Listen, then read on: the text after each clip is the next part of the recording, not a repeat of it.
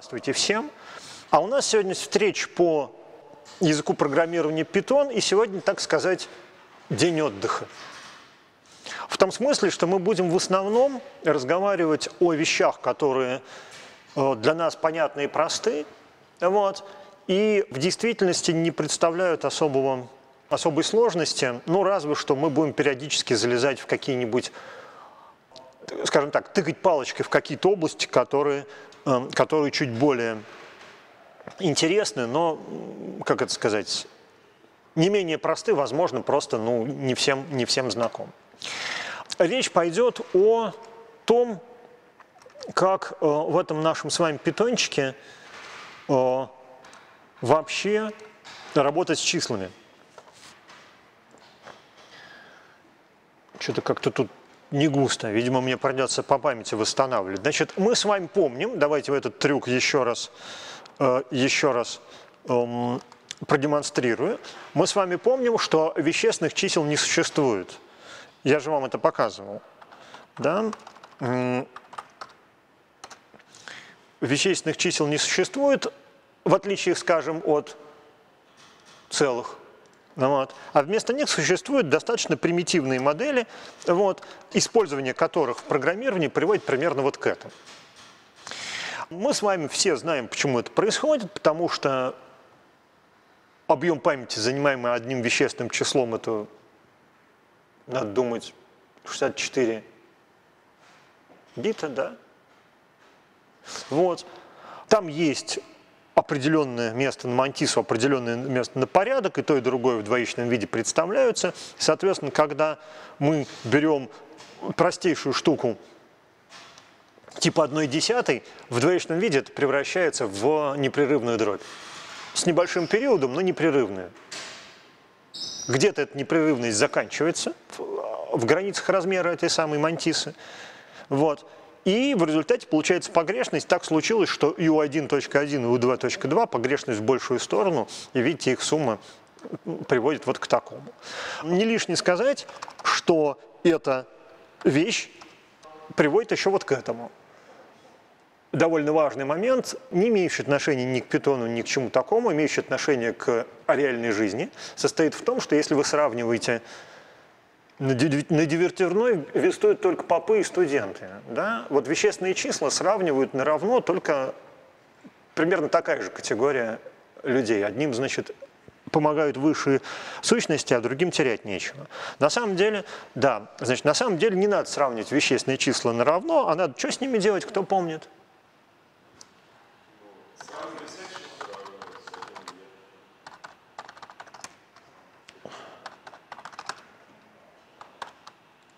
Вот что надо сравнивать.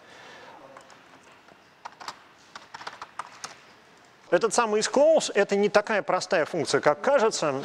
Это, она опирается на формат представления данных, принятый в э, том варианте Python, который вы используете. Ну, правда, в последнее время э, в основном Python, Python написанный на C, который C-Python, но и тем не менее. Да? То есть э, речь идет о том, что по-хорошему, да, уж не знаю как, но, но, но авторы питона обещают нам реализацию функции isClose такую, что если э, вот эти два числа на уровне представления, скажем так, могут оказаться различными, то они различные. Тут вот сокращенец решил поиграть в философа и говорит, что надо уточнять, что не существует идеального представления вещественных чисел в машине. Так нет, вот я утверждаю, что не существует вообще никакого идеального представления вещественного числа, за исключением случаев, когда мы знаем, например, что это число является пределом какой-нибудь последовательности. Вот. А в остальном нет, никакого представления не существует. Мы можем, наверное, моделировать рациональные числа каким-нибудь дробями натуральными, но это будут именно рациональные числа. Кстати, о, о рациональных числах и натуральных дробях. Что вы думаете? Ну, даже не так. Давайте прям сразу скажем from fraction.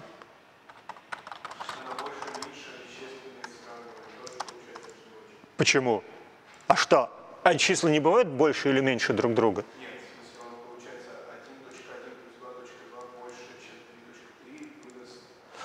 Смотрите, если вы до этого не проверили, э, что они близки друг к другу, да, выдаст. Но в действительности вы все равно можете это делать, потому что вы же знаете, что ваше вычисление приблизительно. На равно нельзя сравнивать не потому, что он что-то там выдаст, а потому что они просто не будут равны. С некоторой вероятностью никогда. Да? А больше и меньше они таки будут. Так вот, чтобы вы думали,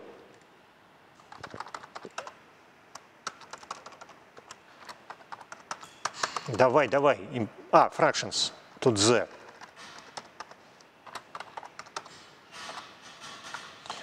Во. Что вы думали? Э, э, я тут э, обмолвился, что можно числа представлять в виде дробей. Так вот, в Python есть модуль, который представляет числа в виде дробей. Вот. Он так и называется fractions, и вот можете написать что-то типа такого. Допустим, там a равняется fraction. Да? От двух третий, третьих. Вот, это вполне себе даже все, да, вот даже вот так, print А. Видите, как красиво. Более того, вы даже можете написать, что А равняется fraction от 1.1. Обратите внимание на кавычки. Ну и b тоже, значит, а b у нас, соответственно, 2.2. Вот. Обратите внимание на кавычки, сейчас э, э, вы поймете почему. Да, а плюс b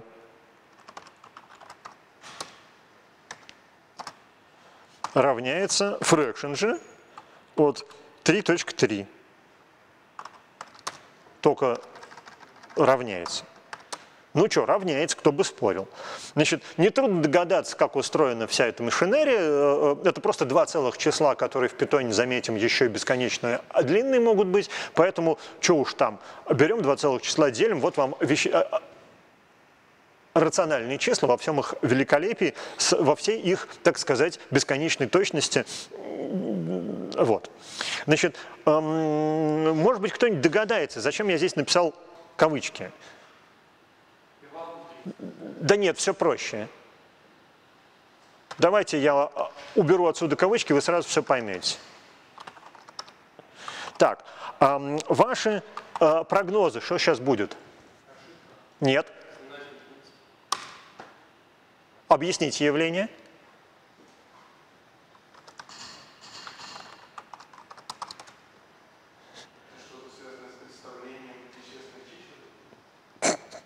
Идеальный ответ. Да? Если бы я был наивным э, экзаменатором на экзамене, да, безусловно, представление э, рационального числа связано с представлением вещественных чисел. Ну так чего? Никаких идей?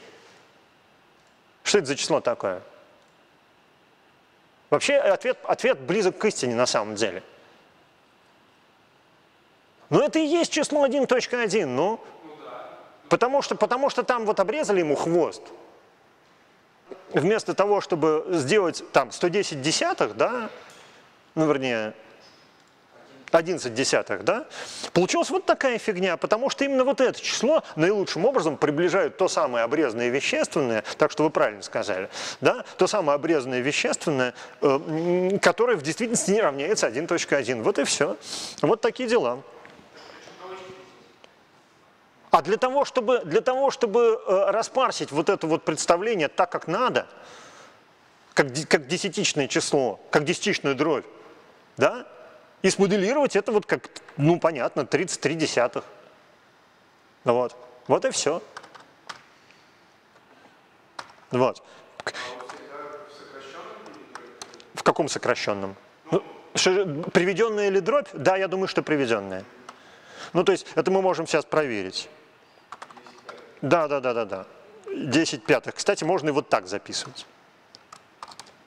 Да, он ее привозит ну, не так, не так невелика, невелика проблема перевести дробь. Вот. Правда, fraction это все-таки скорее такой курьез, вот, редко когда нужный, но реально нужный.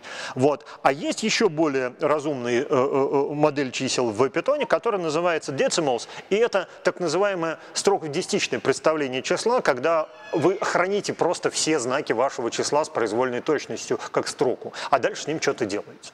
Ну, в действительности там не совсем строка, но это не так важно для нас с вами. Давайте попробуем. From, на этот раз уже decimal. Импорт, ну, decimal, я думаю. Во. Да, значит, та же самая история. Не надо делать вот так вот.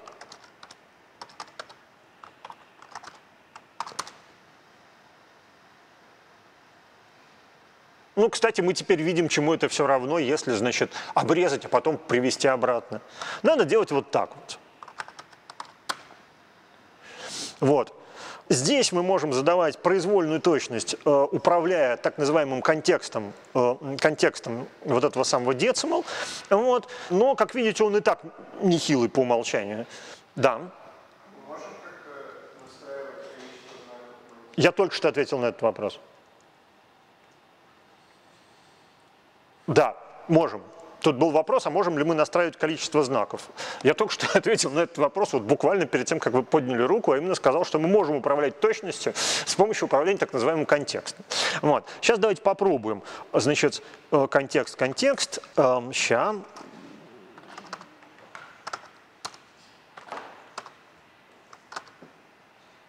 точка мал. А у меня, наверное, может быть какой-нибудь примерчик тут. Нет тут у меня примерчика. Нет у меня тут примерчика, ну давайте. Set контекст, decimal контекст, mal точка контекст. Большой буквы. Вот, а здесь что-нибудь типа, вот, прец, precision равняется, ну, допустим, 100 знаков после запятой. Стоп, это не знаки после запятой, обращаю ваше внимание, это количество значащих цифр в записи числа. То есть если получится число очень маленькое, понятное дело, что лидирующие нули никого не волнуют. Это не знаки после запятой. Вот. Ну и посмотрим. 1.1 делись на 7. Что-то как-то маловато. А, потому что, потому что это не децимал.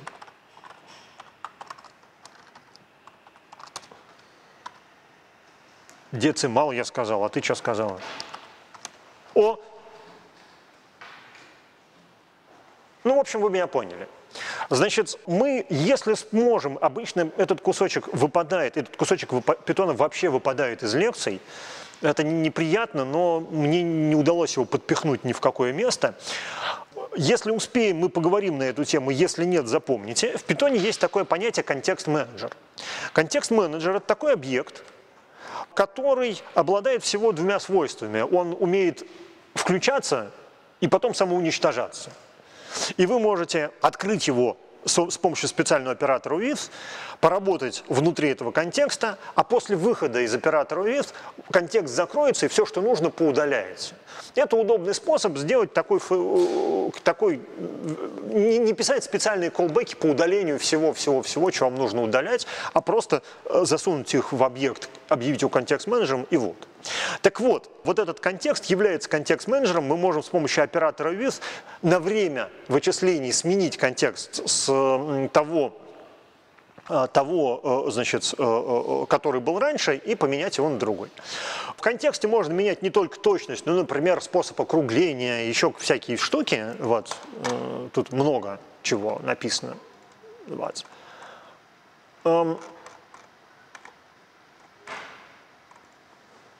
Округление, то есть, то есть количество, количество значащих цифр, округление, эм, количество, когда переходить из плавающего представления в фиксированное обратно, вот, использовать ли большие буквы, ну, короче, вот это все. Про плавающее фиксированное представление, я думаю, вы помните, да, что если у нас есть число э, достаточно небольшое, то оно обычно э, представляется в формате с фиксированной точкой, а вот если мы его, допустим, то оно уже представляется в формате с плавающей точки, потому что здесь вообще 24 знака.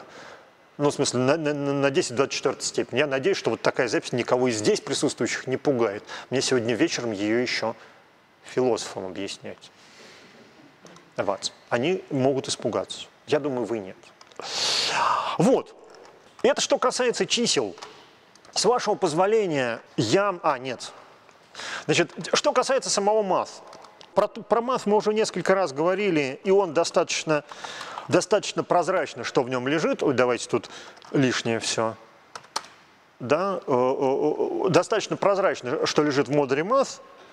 Вот сейчас у меня в PyTon есть только базовые, базовые объекты еще вот внутри PyTonские штуки. Вот. А сейчас я сделаю from math import звездочкой, мы посчитаем, сколько там разных интересных функций.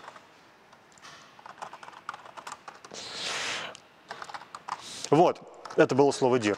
Значит, советую всем потратить время как раз на сегодняшнее занятие. Это не, очень недолго. И просто тупо сходить вот по этой ссылке и почитать.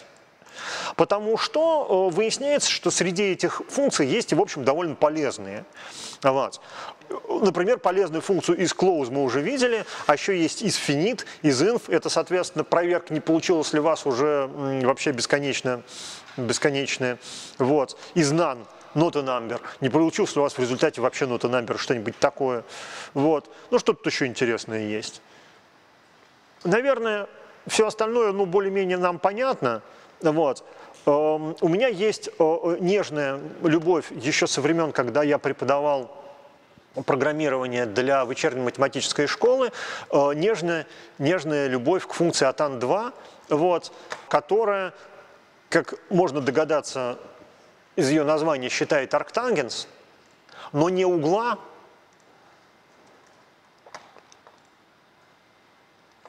а по координатам. В чем смысл арктангенса а, а, а, точки заданной координатной? Как известно, область определения арктангенса, ну, кстати, я забыл, всем известно, только я забыл, э, какая она. Короче, не 2π. Вот чуть ли не π. Да? То есть, если вы знаете угол, в смысле, если вы знаете точку, вот этот вот угол посчитать вы можете только, по-моему, вот в этой вот полуплоскости и у вас будет две разных точки. И вообще нужно будет вот какие-то ужимки и прыжки, какие-то приседания применять, вот, чтобы понять, в какой полуплоскости эта точка лежала. В случае выпол... функции от 2 если вы все равно знаете координаты точки, этого не произойдет. Он выдаст, выдаст полный угол. Вот. Тут э, человек э, с вызывающим ником «пиво течет во мне, и я един с пивом» спрашивает, когда может пригодиться сравнение с бесконечностью, если мы не кодим что-то околокалькуляторное. Ну, э, околокалькуляторное – это если мы не вычисляем. Если мы не вычисляем, не пригодится. А если мы вычисляем, то вполне легко можно получить в нашей формуле бесконечность там, где у нас зашкалит обычный флот. Мы помним, что флот зашкаливает.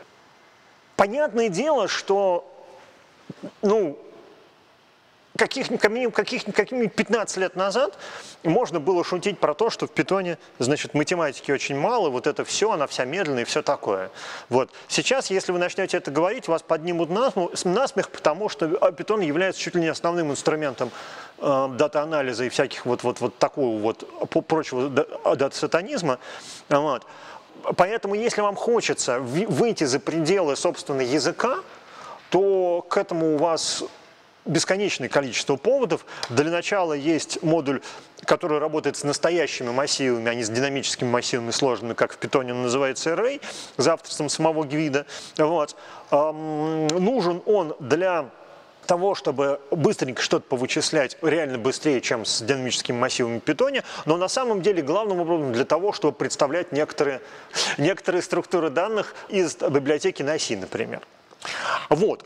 Соответственно, если вам и этого мало, есть непомерно громадный проект SciPy, э, в который собрали дикое количество математических методов, как числовой, так и символьной математики, которые все это умеют. Если вы хотите в дата-сатанизм, то питоном пользуются и питонной поддержкой пользуются такие э, э, знаменитые фреймворки, как Pandas, TensorFlow, там, scikit-learn и все остальное. Кстати, я все эти три термина узнал вот из этой книжки, которая мало того, что э, изданного Урале, так еще и висит в свободном доступе «Читай не хочу». Вот. Меня тут а, а люди спрашивают, а где лекции для философов? Для философов нет лекции, у философов сразу практика, а лекцию они, вместо лекции они пользуются patenttutor.ru, есть такой учебник по питону для начинающих. Вот. Короче говоря, чтобы нам не, не тормозить, в принципе, питон и математика дружат очень много и активно. Вот, всевозможных инженерных пакетов под питон просто, ну, реально тысячи.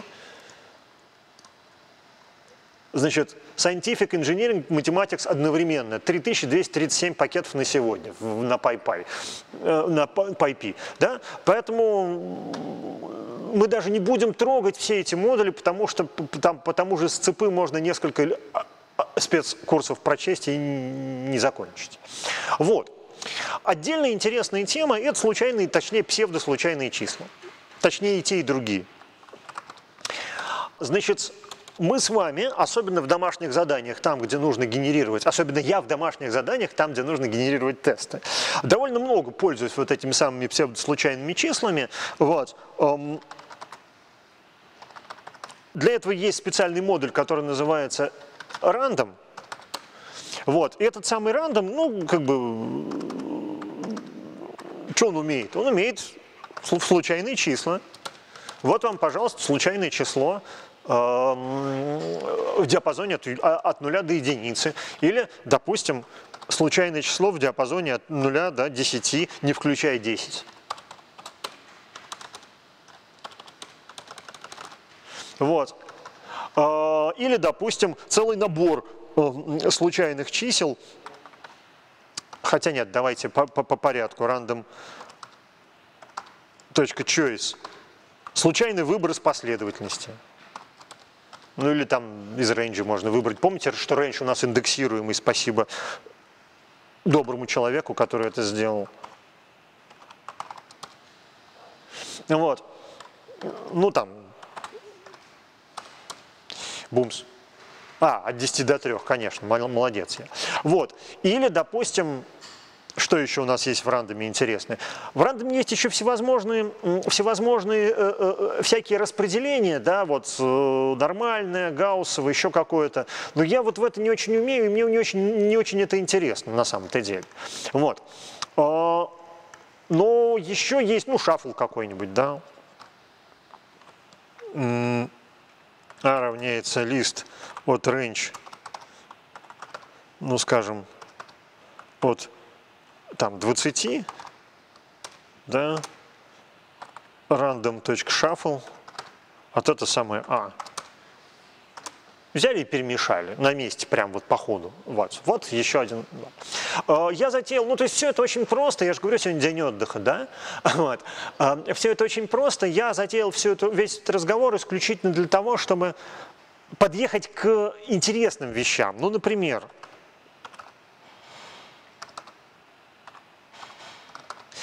Sample – это… Что такое counts, кстати? Секунду.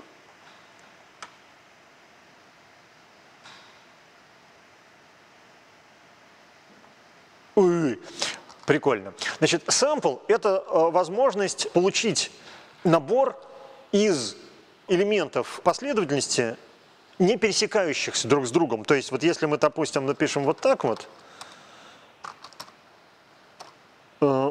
4. Вот он выбрал 4 случайных элемента из этой последовательности, 4 разных случайных элемента из этой последовательности. У нас тут 4 случайные значения из вот этого самого кверти.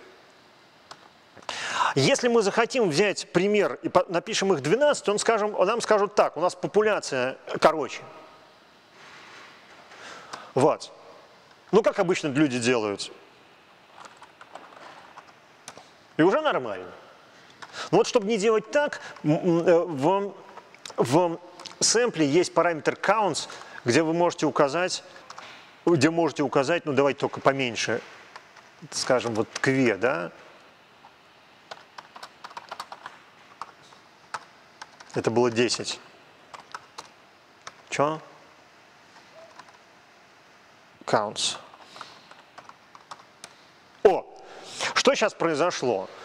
У нас популяция КВ, но у нас 5 штук Q, 7 штук В и 10 штук Е. Вот из, из этой, значит, 23 22 элементной э, популяции было выбрано 12 элементов. Неудивительно, что буква Е в ней больше всего. Вот. Это уже более сложная и более удобная штука для того, чтобы генерировать какие-то примеры из real life. Вот. Напоминаю, что удобная фигня для генерации случайных чисел – это range, потому что он, с одной стороны, э, вычислимый и не хранится, а с другой стороны, он индексируемый. Да? Мы можем взять там пятый элемент от range, потому что это просто арифметическая последовательность. Вот. Значит, ну, дальше больше. Там, где сравнительно недавно, лет 5 или там 7 назад, предел, приделанная штука, это choices. Choices. Давайте почитаем про нее документацию. Choices.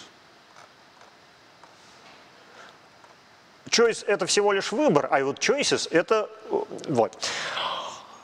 В отличие от sample, где выбираются независимые, да, мы выбираем подмножество из множества, choices выдает нам из известного множества произвольный набор произвольный набор элементов, для которых мы еще можем указать веса, то есть с какой вероятностью они встречаются. Вот. То есть мы можем написать random choices, choices из все того же кве, скажем, k равняется 12, и вот says. И вот вам, пожалуйста, 12 элементов, э, каждый из которых взят случайно из множества кве. А можем присобачить к нему веса. И скажем, у нас элемент вот так вот, да? Вот. Как вы понимаете, примерно такая же петрушка, как, э, в, случае, э, как в случае sample, но в случае sample мы сначала генерим вот этот вот длинный, э, длинный этот самый э, длинное множество, и из него выбираем независимо 12 элементов. А в случае choices это просто веса вероятности, с которой этот элемент появится. Да? Наиболее вероятный элемент Е просто потому, что у него вероятность 10 23, здесь 7 23, а здесь 5 23. А веса могут быть кумулятивные, то есть постоянно нарастающие. Это очень удобно, если вы хотите разбросать камушки по линейке. Вот у вас есть линейка, на ней отмечено 2 метра, 5 метров, 50 метров, 100 метров. Вы кидаете камушек, и эти камушки, соответственно, э, вы им указываете вот эту кумулятивную шкалу, а не обычную. Вот. Короче говоря, для э, математического случайного моделирования, э, особенно если вы не очень заморачиваетесь случайностью того, что вы случайно моделируете, отличное, отличное приспособление. Вот. Относительно незаморачивания случайности. Все, что мы сейчас делали, имеет отношение к так называемому датчику случайных чисел. Знаете, что такое датчик случайных чисел? Это формула, по которой из одного случайного числа можно однозначно вычислить следующее случайное число. Доказательство.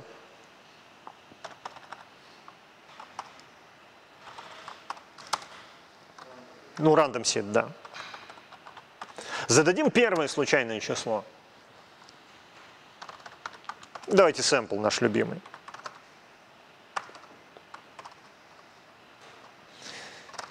А, у нас же он где-то есть тут сэмпл. О! Ну, еще разок. О!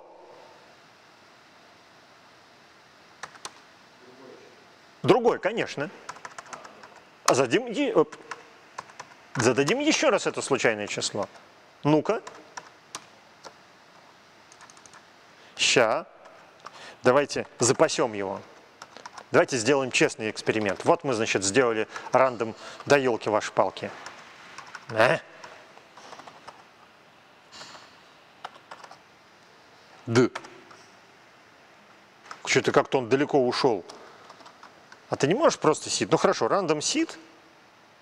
Дура. Точка сид. Ну скажем, раз, два, три.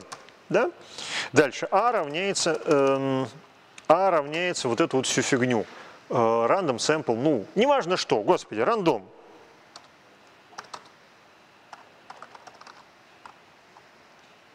Давайте даже ради интереса мы их сделаем 10 штук.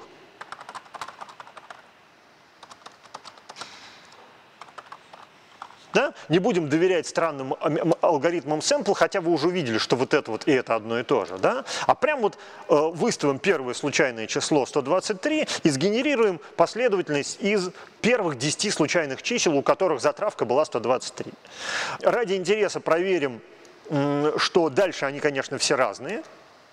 Вот они. Вот, э, вот. Проводим эксперимент.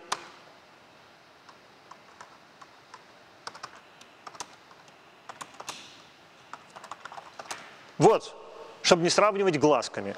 В чем идея? Когда мы задаем вручную какое-то случайное значение, какое-то значение, это начало нашего датчика случайных чисел, у нас получается воспроизводимая случайная последовательность. С этого момента все случайные числа, которые у нас в программе возникают, не случайные.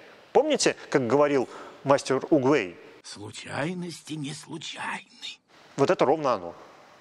Значит, э, если мы хотим случайную случайность, мы можем поступить двояко. Первый способ – вызвать сид без параметров, ну, random seed. Вот. Э, в этом случае в качестве случайного значения приедет, э, грубо говоря, время в миллисекундах, если не в микросекундах. Ну вот наиболее, наиболее мелкая градация времени вашей операционной системы. Да? Эм, в большинстве случаев это более-менее достаточно. Понятное дело, что после этого у нас, э, ну, все вот эти наши рандомы будут запуститься совершенно другого места. Вот.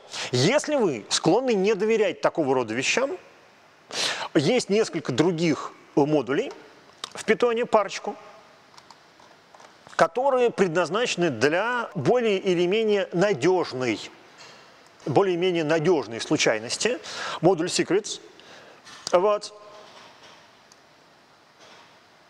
Как тут написано, cryptographic или strong random numbers. Вот. То есть вам, вам гарантируется, что то, что, вы, э, то, что вам приедет, это э, случайная последовательность байтов или случайное 16 число. Вот.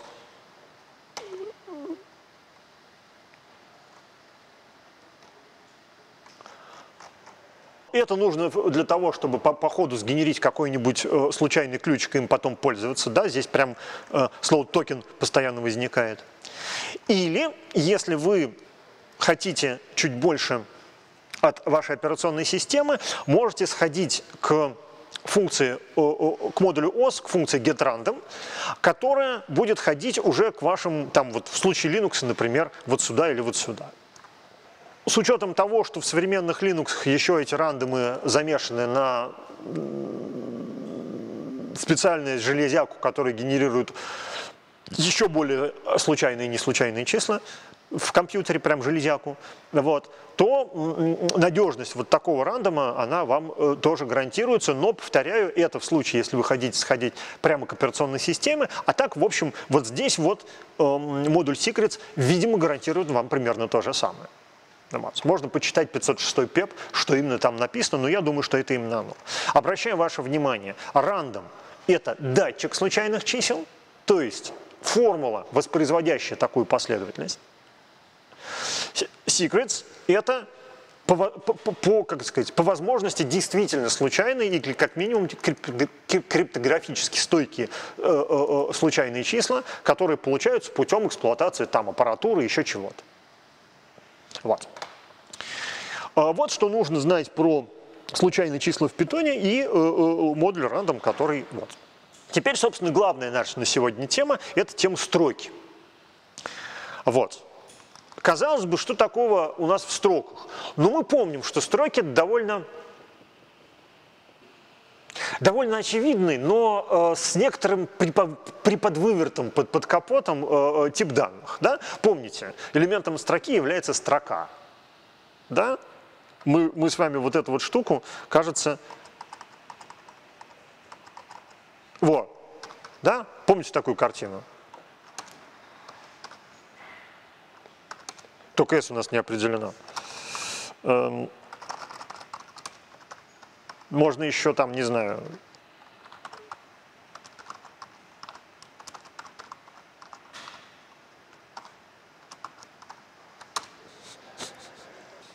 Да, значит, э, э, в чем фишка? Фишка в том, что элементом строки является строка единичной длины. Как это, чем, как это достигается? Ну, в памяти-то у нас хранятся э, байтики от этой строки. Но когда мы обращаемся к, ним, к ней с, операцией, с операцией индексирования, у нас порождается новый объект строка, вот, который содержит а, строку, состоящую из одного такого байтика. Чуть больше относительно того, что у нас хранится в памяти. Это, кажется, сис нужно. Да? Значит, э, проведем эксперимент. Вот у нас есть строка, ну, допустим, из четырех элементов. Раз, два, три, четыре. Э, сколько она занимает байтов в памяти?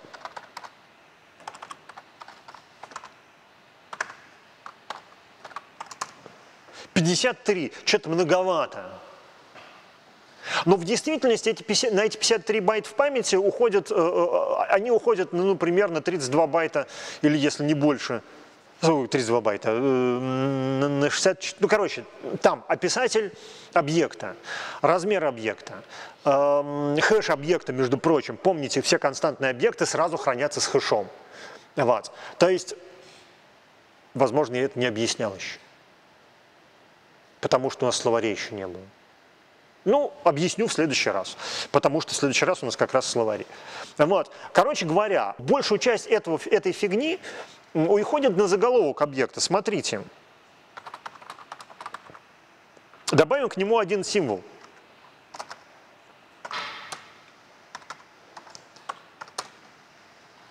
На один байт увеличилось.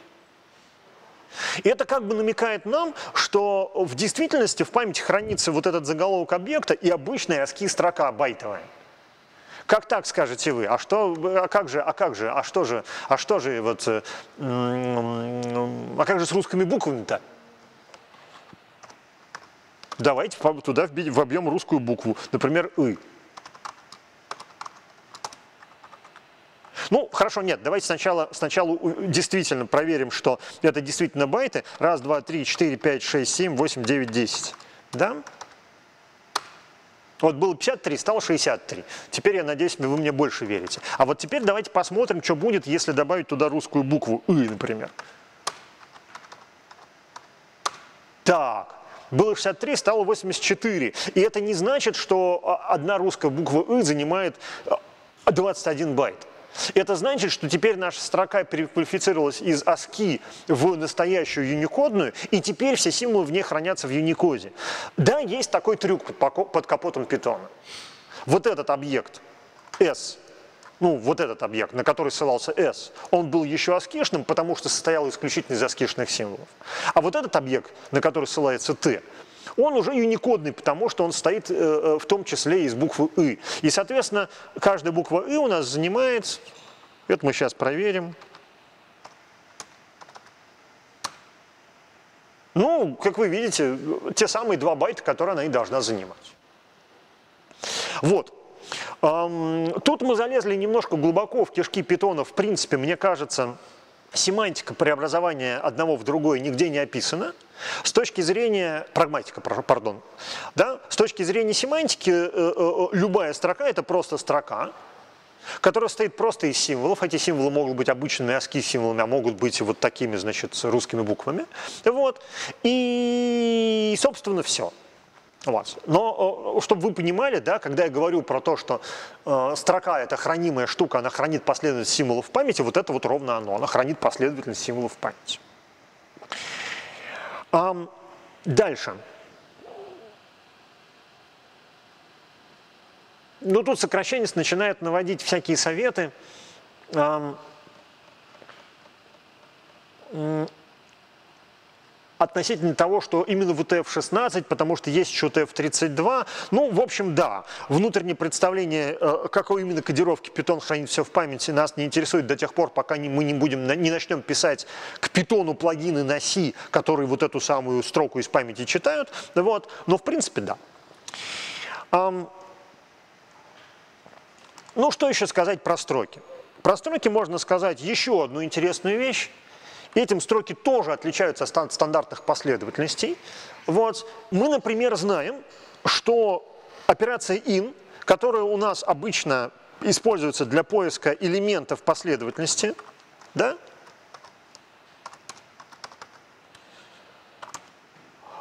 в случае строк работает не только для поиска элементов под строке, но и для поиска подстроки в подстроке. Тут надо вспомнить, что первый приходящий на ум алгоритм по, по позиционного сравнения имеет квадратичную сложность, а алгоритм Кнута Морриса Пратта имеет линейную сложность. Он не самый простой в плане реализации, именно поэтому он уже реализован, именно поэтому это самый ин так и работает. Вот. Но тем не менее, эм, вопрос, вопрос к аудитории. Значит, ну мы с вами решили, что поскольку элементом строки является строка, и секцией строки тоже является строка. Э, во всем или эквивалентно вот такая запись в вашей программе, вот такой записи в вашей программе? Как вы думаете? Ваше предположение. Есть ли между этими двумя записями разница? Варианты. В, обе, в обоих случаях создаться новый объект, все правильно. А разница в чем?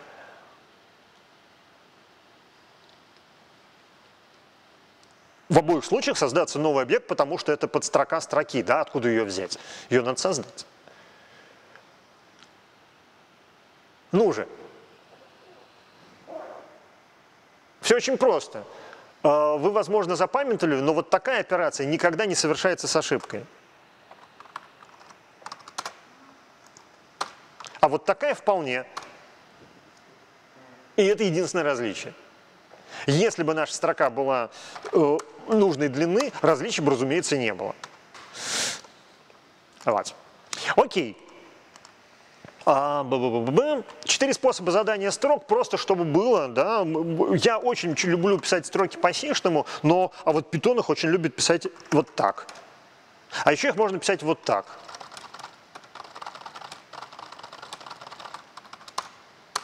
О, Обратите внимание на две вещи. Вещь первая. Естественно, можно сюда вписать также и вот тройные апострофы, а не только тройные двойные, тройные двойные кавычки, господи.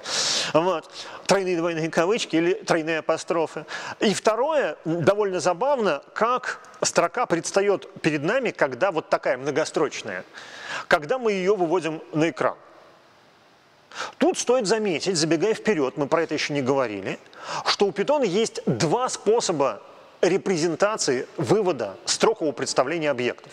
Так называемый стр и так называемый репр. Стр служит для представления, ну давайте вот так сделаем, а равно.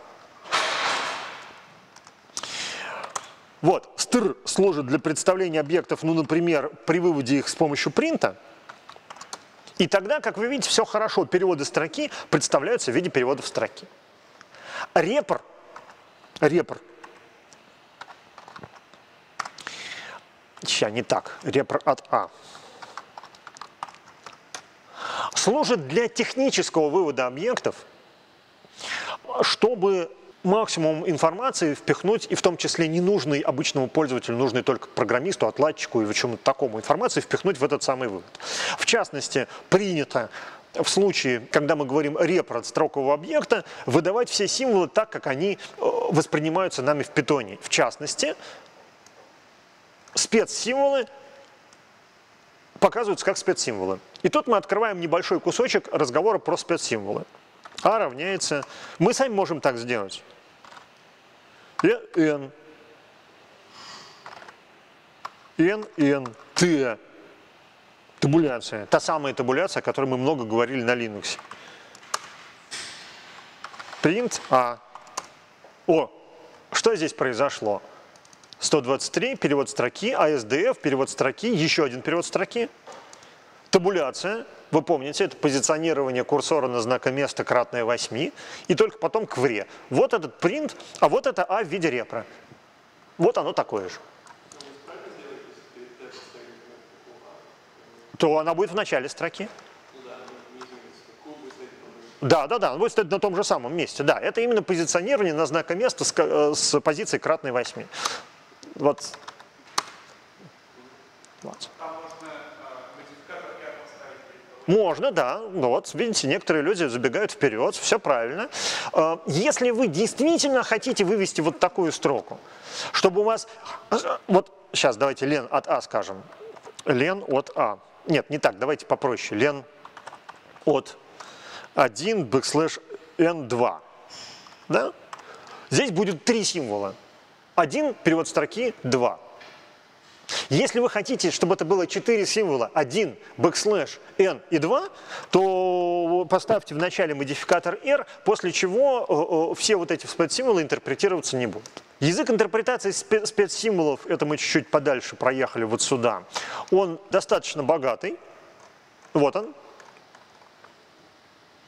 Ну, например, вы можете внутри кавычек указывать кавычки, э, внутри апострофов апострофы, надо только их забэкслэшить в начале. Вот. Помимо backslash n, который мы уже использовали, и backslash t, который мы уже использовали, есть интересные штуки, ну, например, backslash a это некоторые терминалы пищат, а, а когда это выводят на экран.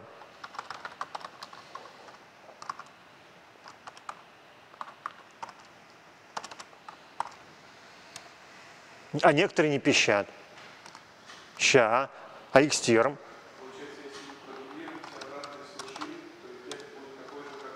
Да, да, да, да. Если все забэкслэшить, то backslash снимает, снимает интерпретацию символа как... Э, да, это правда.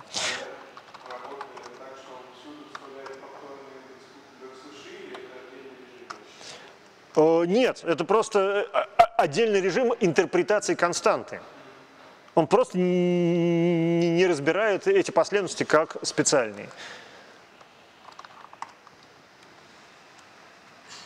Не пищит. Зараза. Удивительным образом терминальное устройство, мы об этом тут недавно говорили, не помню с кем, удивительным образом терминальные устройства имели специальный символ, который при выводе пищал. Причем он называется, как видите, bell, звоночек. Знаете, откуда все это пошло? От печатных машинок, у которых были такие колокольчики, которые звенели, когда вы доходили до конца страницы. И эти колокольчики, значит, умели звенеть. Поэтому у электрических печатных машинок тоже была возможность их управляющий символ какой-то вывести, который бляцал этим колокольчиком. Это дожило до наших дней, хотя вот, видите, не, не, не везде дожило, некоторые не пищат. А, кстати, может, они не пищат просто потому что... Да, это у меня просто тут звук не включен. Если бы я включил звук, у меня бы это пищало. Ну ладно, в следующий раз покажу. Не самая интересная вещь.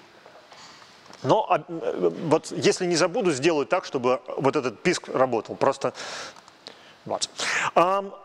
Да, ну наиболее интересный, наверное, это возможность э, вывести произвольный, произвольный, э, произвольный символ. У нас же есть функция ord, да, которая указывает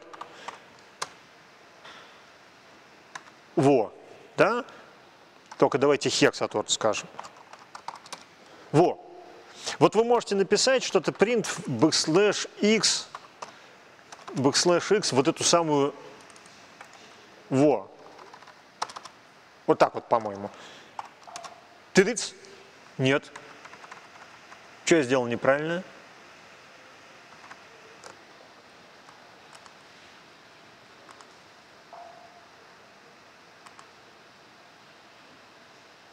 А, это, это, это извините, юнико, это не юникодный символ. Юникодный символ backslash U. Тоже нет. Может быть, тут 0 надо написать? Да. Вот. Вот э, два способа. Вот это ASCII символ, это его 16 код, 40, 42 потому что 9 это уже следующее, оно просто тут вывелось. А вот это уникодный символ, вот его 16 код 429. Вот поэтому, кстати, можно выяснить, что там кодировка именно у TF16, э, у CS16 не какая-то другая, но тем не менее. Про кодировки, про которые, кстати, у нас тут был разговор, про который вот у нас тут вот был разговор, про кодировки у нас будет отдельный разговор, кажется, будет но он точно должен быть, потому что я хорошо помню, что задачи на него были. Но это не сейчас. Вот. Значит, э, я тут использовал функцию ord, которая выводит э, код первого символа, и еще, соответственно, можно и обратную функцию chr. э, от, не выводит, а возвращает. Да? Вот. Но об этом мы тоже поговорим, когда будем говорить по кодировке. Так, это мы внезапно перескочили на тему управляющих послед... управля... спецсимволов и э, их квотирования с помощью буквы R или с помощью бэкслэша. Вот. Эм, давайте. Да.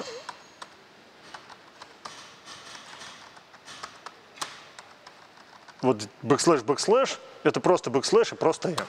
Вот. А, давайте вернемся немножко назад. Пожалуй, самая интересная на сегодня тема, вернее, не так, тоже не интересная, как это? Она тоже слишком простая. Сегодня день отдыха, я говорю. А, нет, у нас есть две темы на самом деле, еще форматные строки. Окей, значит, э, это строковые методы. На самом деле самые интересные в э, строках, это э, что с ними можно делать.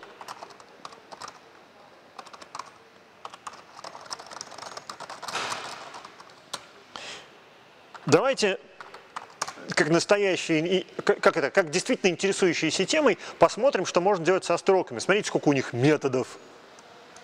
Это, все, это вот все с ними можно сделать. Вот. Ну, не знаю. А. А. Ловер.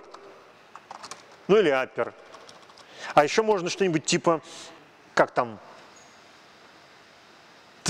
title. Первая буква большая – и каждая, каждая начальная буква слова большая, остальные маленькие. Ну, типа так, э, э, э, это одна из дисциплин написания заголовков в англосаксонской типографике. Вот. Но это все такое, да, там можно... Можно что еще сделать? Чего? Translate – это, э, э, э, пожалуй, самая хитрая штука. Вы ему должны указать словарик, какие символы в какие преобразовывать, и он их преобразовывает. Вот. Поскольку словариков у нас еще не было, мы на него смотреть не будем, хотя иногда он используется. Я думаю, что чтение документации вам все откроет. Я довольно редко в жизни пользовался транслейтом, а вот, вот этим всем я пользовался довольно часто. Вот. Есть целая группа целая группа э, проверочных, вон их сколько, вон их сколько, проверочных функций, которые э, отвечают на вопрос, является ли данная строка чем-нибудь. Ну, например, э,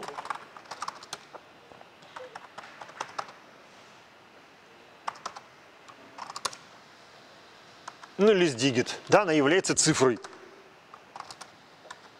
Вот. Или, допустим, является ли она буквой. Нет, буквой она не является.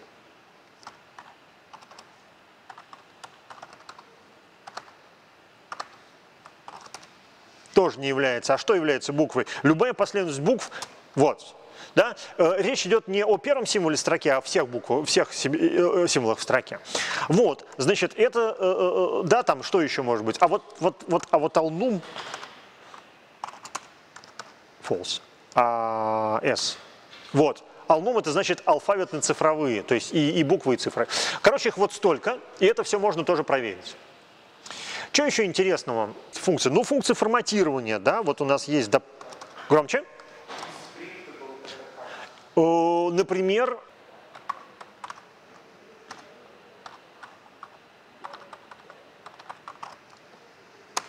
false Речь идет о том, что, что э, э, строка состоит из символов, которые представляют собой значки на экране.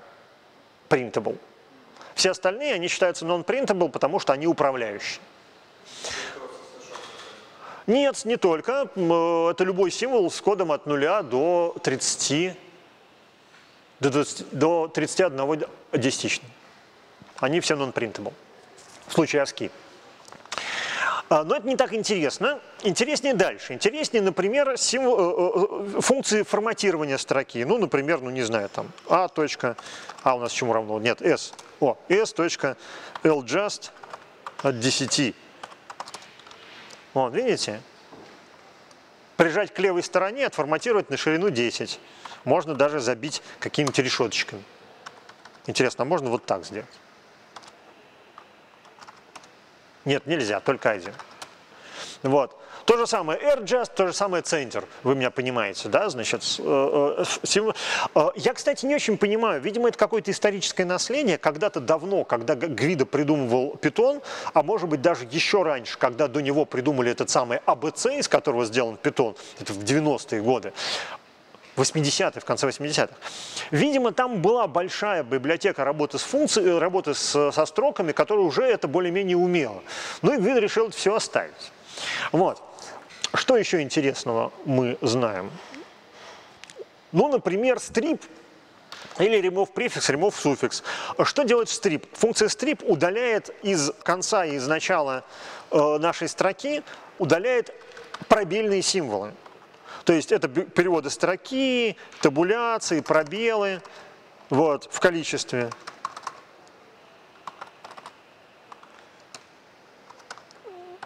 Вот все они будут удалены функцией strip. Не все. А, потому что там вот так. О, не все, а только те, которые стоят в конце строки и в начале. Видите, тут я э, случайно поставил backslash, backslash t, и э, понятное дело, что все, что стояло до, ним, до него, естественно, не было пострипано. И это довольно удобно в ситуации, когда вы читаете непонятно какой код, у которого в начале, вернее, непонятно какой текст, у которого в начале или хуже того в конце могут стоять пробелы. Да? Вот удобный способ это дело порезать. Вот. Не так давно, буквально несколько лет назад, в Python появились еще удобные функции remove префикс и remove суффикс а starts with и ends with, да, ну что-то типа так, такого.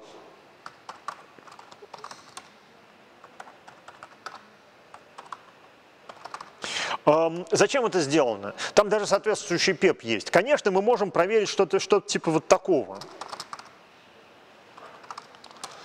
Но это потребует от нас порождения нового объекта и, в общем, некоторые операции сравнения двух объектов. А вот это на самом деле, да, мы передаем объект, он просто поэлементно сравнивается сразу. Да, вот, вот такая операция считается более, более, как это сказать, очевидной и э, менее ресурсоемкой. Сейчас будет сплит, погодите, все будет. Тут вот меня торопит. Я же говорю, тема легкая, и тут люди меня поторапливают. Да. И то же самое относительно remove префикс, remove суффикс. Ну, что-нибудь типа такого, в том же, тоже а, а, точка, remove префикс, ну, скажем, QV. А если мы укажем неправильный префикс, то ничего не будет убрано. То есть если это как стрип, только произвольный, да? Вот, ну то же самое remove суффикс. Так, что еще? Ну, всякие филы, это значит заполнить, ну, короче, все это неинтересно. Интересно, что у многих из этих функций есть правые варианты и левые. Например, стрип может быть не только справа и слева, но справа отдельно, слева отдельно. Э, функция find и индекс, которые, соответственно, находят a.find. Э, Это еще один вариант найти под, строк, под строку в строке. Вот она начинается с номера 2. А индекс тоже 2. Разница между функциями find и index состоит в том, что find, если ему указали неизвестно что, ни в чем, кстати. Похоже, что ни в чем. А, нет, индекс э, это стандартная функция для всех последовательностей. Если он не нашел соответствующий э, элемент, он выдаст э, ошибку, точнее э, исключение. А вот find выдаст индекс минус один. Типа, если у вас отрицательное число возвратило find, значит там ничего нет. Иногда удобнее так работать, иногда так. Так, ну, наконец, вот мы дошли, Димка Димка, мы до, это человек с ником Димка Димка, мы дошли до сплита и джойна. Это, пожалуй, э, э, единственная хоть сколько-нибудь сложная тема простройки. Вот. И состоит она в следующем. Вот у нас есть строка, все та же наша S. Нет, плохая строка. Как это? Возьмем любое число, например, 17. Нет, 17 мало, возьмем 231. Ну вот какая-то такая, да? Вот. Давайте мы еще ради прикола туда поставим переводы строки, несколько штук. Вот. Есть функция split, точнее это метод, естественно.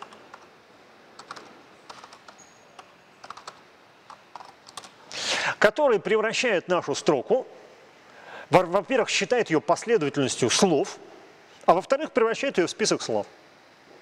Ничего более э, заумного чем функция сплит, я сегодня не расскажу. Э, единственное, что вы, э, э, я надеюсь, уже отметили, функция сплит, в том, ну, метод сплит в том виде, в котором работает сейчас, он считает последовательности разделителей между словами одним большим разделителем. Только в этой форме сплит так работает. Вот, если вы ему укажете явно, какой, разделитель, что, какой символ является разделителем, то вы получите другую картину. А что у нас? У S не было ни одного пробела двойного. Давайте сделаем несколько двойных пробелов.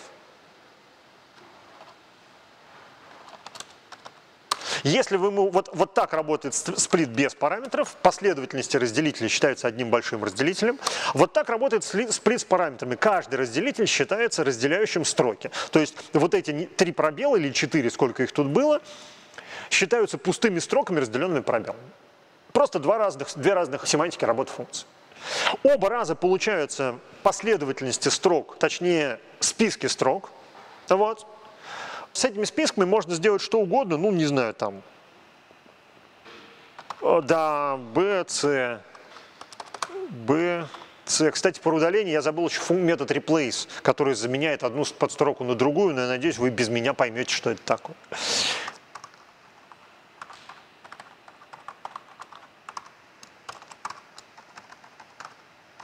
Сплиты. Запятая, спасибо. О, да? Значит, есть и обратный метод к методу split, этот метод, а, разумеется, join, который позволяет превратить последовательность строк в строку, склеенную некоторыми символами. Ну, например, а равняется, вот это у нас а, и мы можем сказать, склейка мне с помощью двух решеточек все, что лежит в А. Join от А. Обратите внимание на то, что join – это метод разделителя.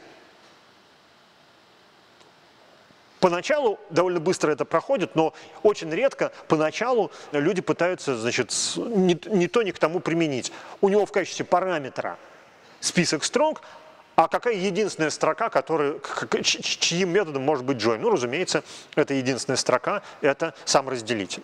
Можно написать что-нибудь типа такого. Сейчас дайте. Точка join. Но, кстати, что будет, если я скажу, что будет, если я скажу вот так? Ну, разумеется, у нас просто объединяться пустыми строками. Точка join. И здесь написать что-нибудь типа cshare от cshare от и for i in range, ну, скажем, 32,100. Tins, tins. Что не так? On terminated string. О! Ну, в общем, ничего удивительного не произошло от слова совсем.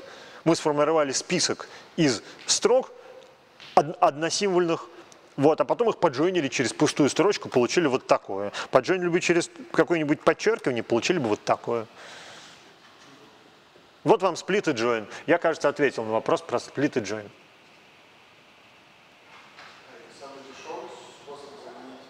Нет, конечно, самый дешевый способ.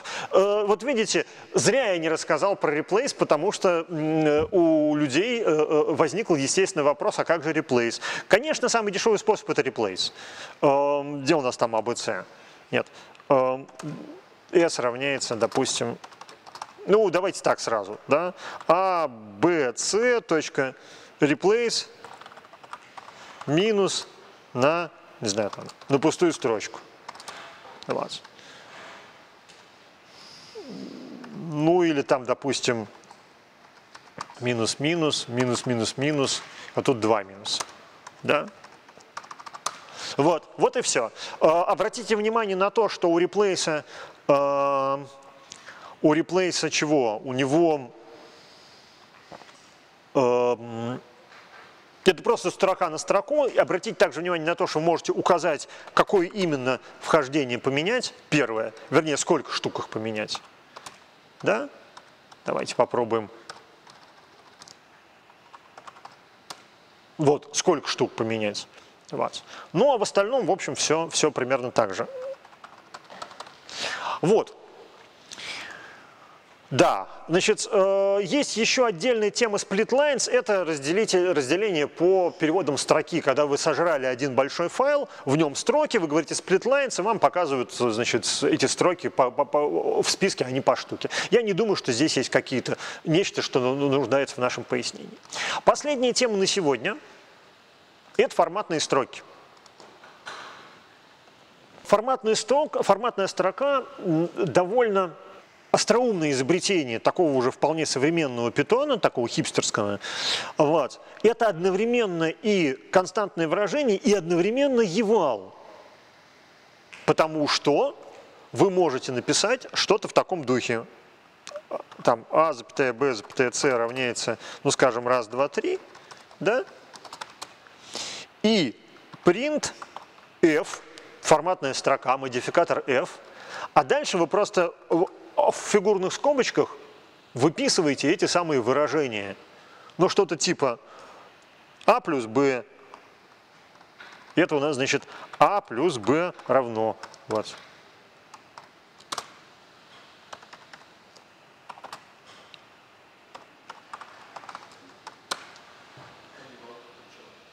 Как причем, а кто за вас будет вычислять а плюс b?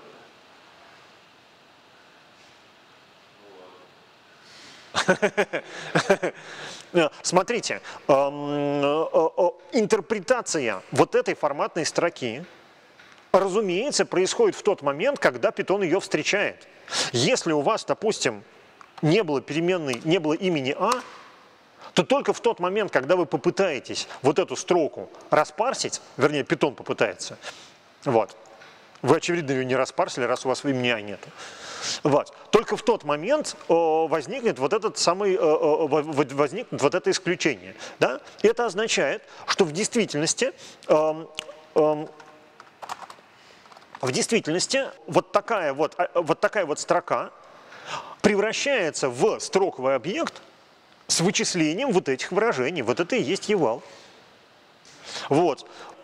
Тут возникает вопрос, а насколько, насколько вот это все настолько же опасно, насколько опасен Евал. Вы помните наши разговоры, что Евал, Евал input, это прям, значит, этот input может содержать что угодно, вы туда можете, вы можете э, туда ввести такое выражение, которое все файлы с вашего компьютера удалит, вот это все.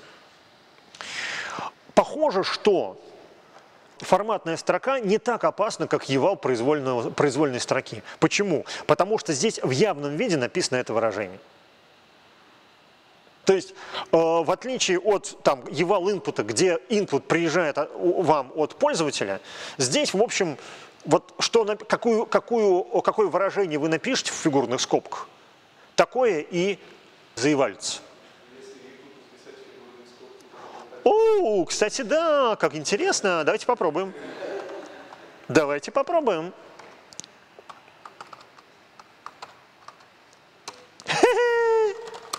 И точно.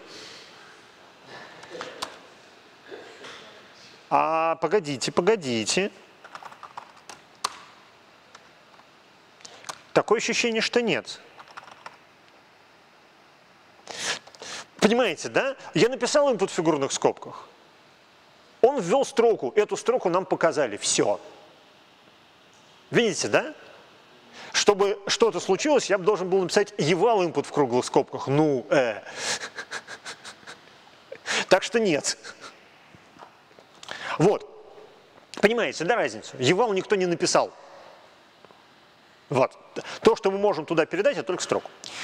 Эм, окей, значит, так что более безопасно. Что можно делать с форматными строками? Да, в общем, много чего. Например, не так давно, начиная с 3.8, что ли, питона, вы можете написать вот так и получить еще более красивую картинку. У вас вот это А плюс Б сначала выведется как строка, потом заевалится и выведется результат. Для отладки идеально. Чтобы каждый раз не писать, вот не копипастить и не писать вот такое, да? Вот. Вы можете, например, указывать способ форматирования этого самого А по-моему, наоборот.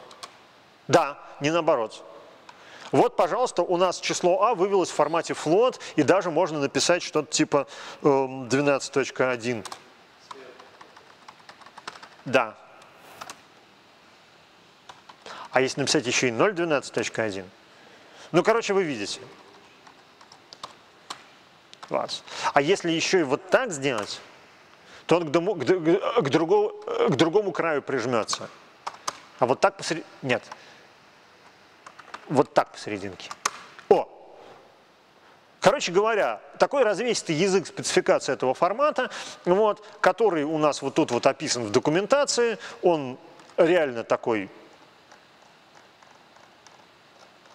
немалый. Вот. Как вы видели, возможно, всякие трюки при форматировании, главное, они произвольные.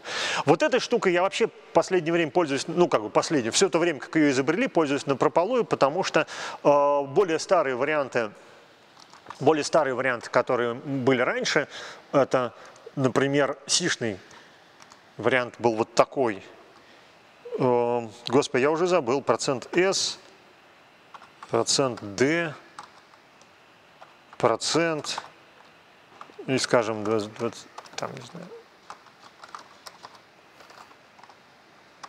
Во. Значит, эм, операция процентики со строкой, э, похожая на оператор printf-c, вот, и там язык как раз такой C-стайл, вот, э, с, ним, с ним некоторые проблемы, там не очень удобно ссылаться на конкретный номер элемента, и, в общем, он был признан не вполне удобным, а вот этот вот с фигурными скобочками вполне удобным. Вот. Что можно еще на эту тему сказать? На самом деле можно сказать еще вот что – не всегда бывает так, что вы заранее знаете, какова должна быть форматная строка. Например, вы вычисляете вот это число. Вам нужно вычислить ширину, допустим, выводимого столбца. Такое будет домашнее задание, кстати. Э, есть два способа. Один, который я сейчас смогу воспроизвести, а второй, который я воспроизвести не смогу, потому что он э, мегаизвращенный. Вот. Один простой способ состоит в том, ну, допустим, у нас есть числа, ну, допустим, не знаю, там, n равняется не n, r равняется range от единицы до 10 тысяч, ну, с шагом, не знаю, там. Нет, маловато.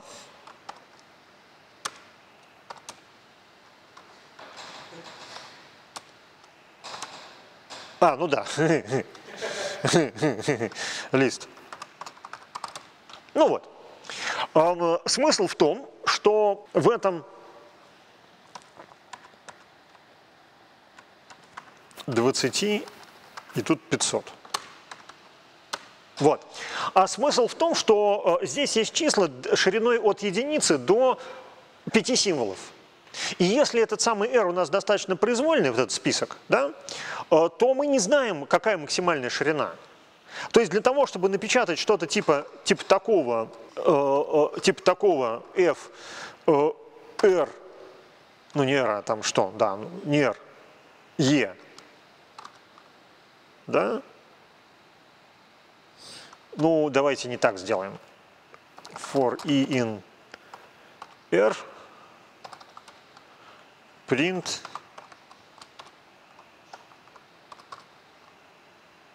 и, ну, допустим, мы его хотим прижать вот туда, да? Что я сделал неправильно? F-string invalid, что-то я сделал не так. А. О! Только он что-то не прижался, зараза. А, потому что я размер не, не указал. Вот. Я не указал размер. Допустим, я сделал там 7. Эть, эть.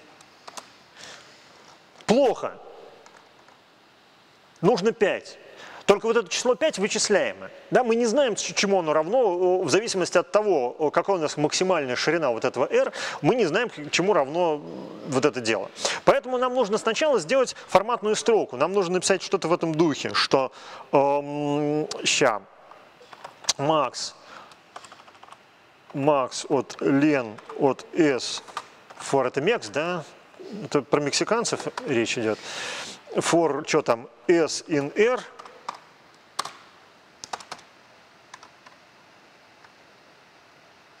от str, от s. 5. Да? Теперь мы должны сделать что-то в, духе, э, что в таком духе, что форматная строка у нас равняется, что там, э, и двоеточие меньше, эм, сейчас, двоеточие меньше, дальше вот эта самая семерка, ну давайте так, плюс стр от L. Плюс,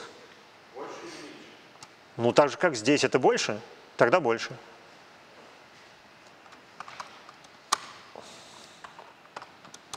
О!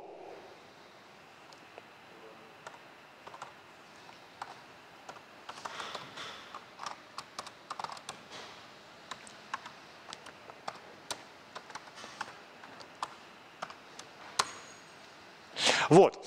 Единственное, что э, этому самому формату придется руками передавать все те имена, которые там внутри задействованы. Он, кажется, не умеет ходить к, эм, не умеет ходить к э, э, Global Namespace. Видите, мне пришлось сказать, что и это и. Вот. Вы, кстати, могли написать, да? Громче? Вы можете убрать название строки, тогда не надо будет по имени обращаться. А, вот здесь вот. Да, да, да, да, да, да. Вот. У формата можно, да, совершенно справедливо, как было тут правильно замечено, э, можно было, можно было писать просто без номера. Э, без номера это будет э, нулевой параметр нашей функции формат, с номером один это будет первый, ну и так дальше. В общем, в этих ситуациях можно воспользоваться вот этим. Я видел людей, у нас уже нету на это времени, а может быть и есть, которые умудрялись... Ща,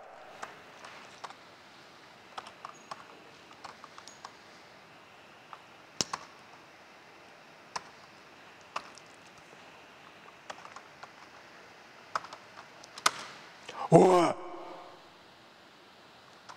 Так что нет, оказывается, это можно сделать. Понимаете, да, что произошло?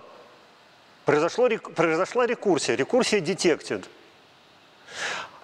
В, этой, в этом выражении, э, в этом форматной строке встретилось словосочетание, встретилась вот такая конструкция, она является форматной строкой, она была заменена на L плюс 1.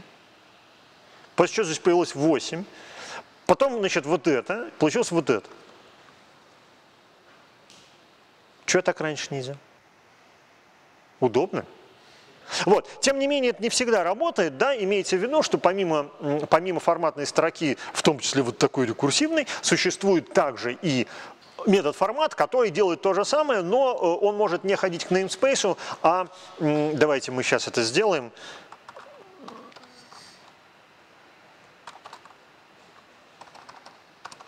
Давайте мы сейчас это сделаем. Тут 2, а тут, допустим, 0. Э, он может не ходить к namespace, а может ходить просто к порядковому номеру вашего элемента. Вот. Такое тоже можно. Так, это что касается да, да, да, да, да, язык форматирования. У меня есть сильное подозрение, что я совершенно случайно рассказал все, что хотел за сегодня, прям все от начала до конца. Это как-то странно, потому что мне казалось, что лекция ну, как бы большая.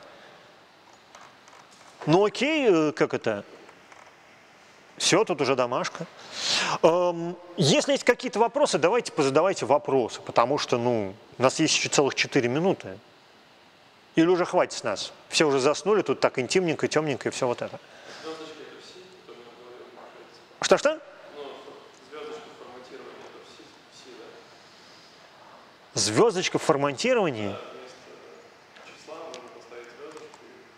Это все стайл, и он тогда его пропустит, по-моему. Да, это можно сходить, сходить вот сюда и почитать. Но, по-моему, это в старом формате. Да,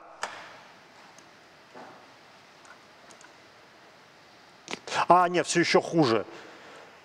Там какая-то, какая-то, вот, вот, вот это та самая звездочка, да, для, форма, для указания, указания ширины формата.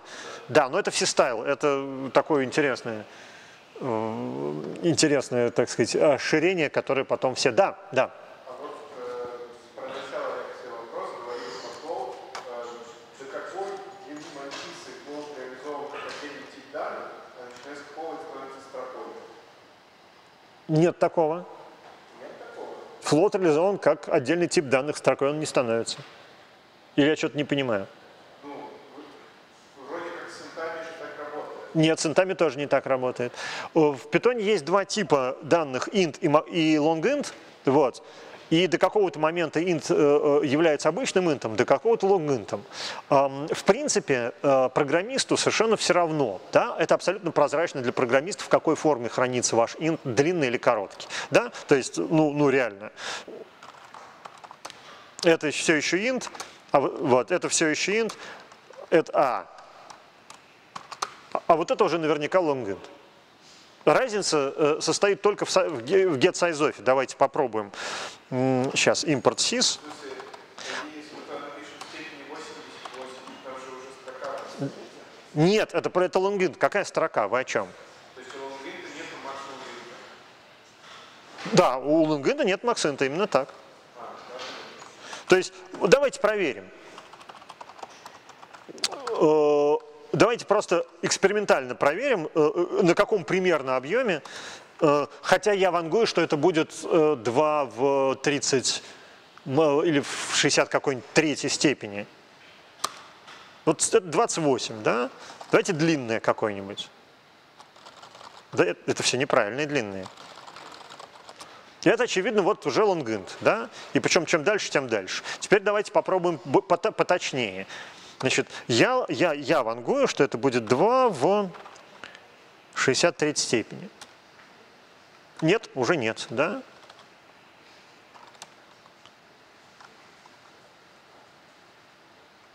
Ой, как интересно.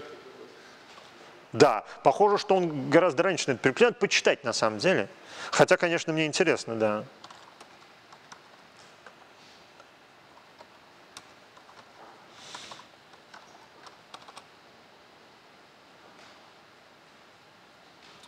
Ну, вот, вот это похоже 32-разрядное. Мне интересно, почему он здесь мне выдал 36 степень. Ну, в смысле, 36, 36 байтов. Но, видимо, видимо как-то более хитро. Но, еще раз, это просто целые числа, никакой строки там нету.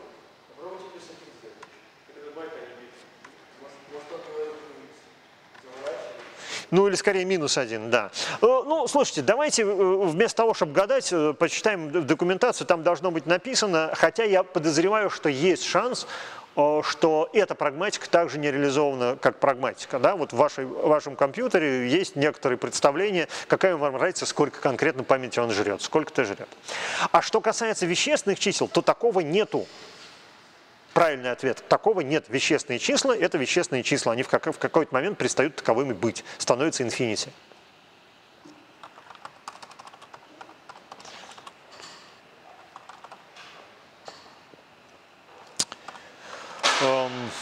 Ну, давайте попробуем по-быстренькому. Это же быстренько, да?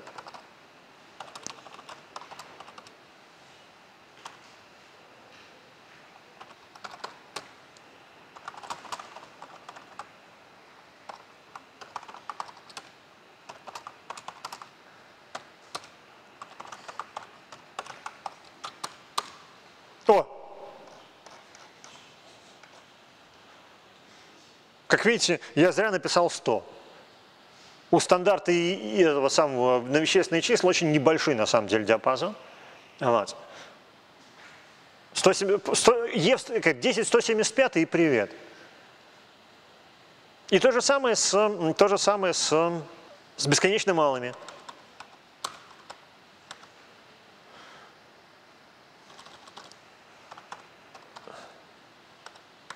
Давайте я тут сразу скажу, что тут будет сильно меньше. Нет. А потому что надо было не на 2 делить. Вот тут, тут может быть, кстати, да. Тоже нет. Ну, в общем, да. В общем, мы сейчас приблизимся. Кстати, бесконечно малые, видите, они еще и глубже залезают. О, все, доехал. Ну, короче, вы поняли. Вот. Да, опять же, проще прочесть стандарт, чем э, э, э, щупать это руками, хотя щупать руками тоже быстро. Еще вопросы? Все, наверное. Все, если все, тогда, значит, мы с вами прощаемся с кем-то до следующей недели, с кем-то до завтра. Завтра у нас будет все то же самое, ну, только про Linux. Вот.